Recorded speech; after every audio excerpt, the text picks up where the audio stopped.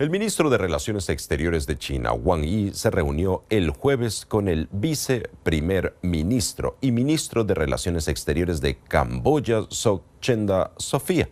quien se encuentra en Beijing para asistir a la octava reunión de ministros de Relaciones Exteriores de la cooperación Lansang Mekong. Wang señaló que la firma del plan de acción de ambos países para la construcción de una comunidad de futuro compartido ha desempeñado un papel ejemplar en la construcción de una comunidad de futuro compartido de la humanidad. Añadió que China está lista para trabajar con Camboya con el fin de salvaguardar la estabilidad en los países de la región. Por su parte, Sok Chenda Sofía dijo que la construcción de infraestructura entre Camboya y China en el marco de la iniciativa de la Franja y la Ruta ha generado beneficios tangibles al pueblo camboyano e indicó que las dos partes deben reforzar aún más la cooperación.